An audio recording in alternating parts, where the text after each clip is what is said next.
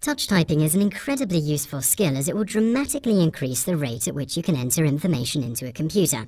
This tutorial is going to show you how to type without looking at the keyboard. It might be obvious, but the first step you need to take in learning how to type without looking at the keyboard is not to look at the keyboard.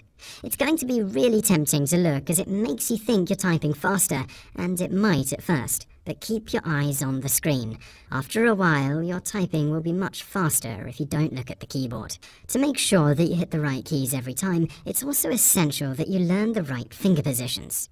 This picture shows you where each finger should be. Pause this video now if you need to get familiar with these positions. There are also little bumps on the F and J keys on your keyboard to indicate where you need to place both of your index fingers.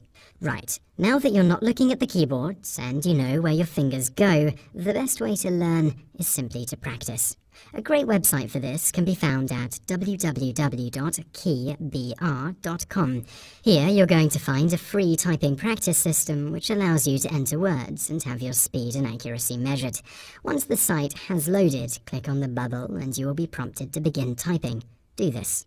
Use this site regularly to practice your typing and you will find that you soon learn how to type without looking at the keyboard. If you dedicate yourself to using this site regularly and practice your typing every day, you're going to find that pretty soon you're going to know how to type without looking at the keyboard.